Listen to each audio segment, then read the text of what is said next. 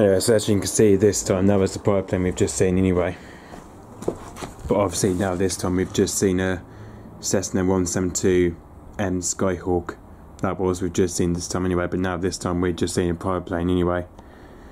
Which as you can see, the registration is GEGOA, that is.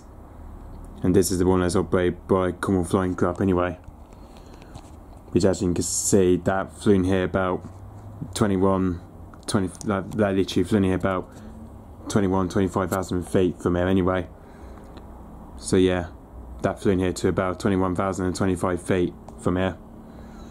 But obviously where was it to start with? He was about 21,000 feet to start with as he was coming towards um, where, where you can see it flew past over towards Flushing and then just from here is literally flew past near Mylor Bridge and, uh, and over by Henry Wickwood so it's just literally just flew past over there anyway.